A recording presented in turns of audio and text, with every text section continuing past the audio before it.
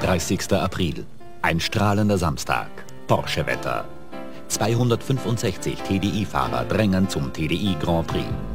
Schafft der TDI die 3 Liter Verbrauchsgrenze? Darum ging es beim TDI Grand Prix, dem größten jemals veranstalteten Economy Run, zu dem Porsche Austria aufrief. Unterstützt von einer unübersehbaren Werbekampagne trat die österreichische VW- und Audi-Organisation den einmaligen Beweis an, dass die neue Dieseltechnologie sensationelle Verbrauchswerte ermöglicht. Auf dem Testgelände von Semperit in Kottingbrunn mussten rund 29 Kilometer in einer Mindestgeschwindigkeit absolviert werden. Mehr als 5000 Zuschauer lockte der TDI Grand Prix, um ein Rennen besonderer Art zu erleben. Ö3 war live dabei.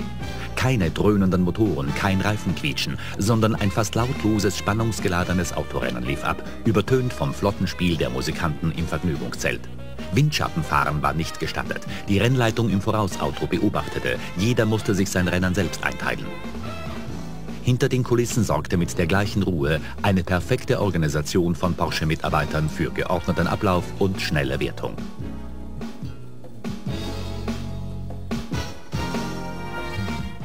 Bundeskanzler Wernicki tauchte selbst am Ort des Geschehens auf. Immerhin stand seine Forderung nach einem 3-Liter-Verbrauchsautopate für diese Veranstaltung. Auch eine Testrunde mit Verbrauchsspezialist Gerhard Plattner ließ sich der Kanzler nicht nehmen. Die größte Hürde, wie man schnell und präzise Verbräuche auf das Hundertstel genau misst, lösten die VW-Techniker genial. Eigene Zusatztanks mit Schnellverschluss wurden in der Lehrwerkstätte produziert. Die Tanks selbst wurden vor dem Start und nach dem Zieleinlauf gewogen und aus der Gewichtsdifferenz der Verbrauch auf das Hundertstel genau ermittelt. Das war auch notwendig, denn der Sieger im Finale stellte einen einmaligen Verbrauchsrekord mit einem völlig serienmäßigen Golf auf. 2,23 Liter auf 100 Kilometer. Der Jubel bei den drei Erstplatzierten kannte jedenfalls keine Grenzen.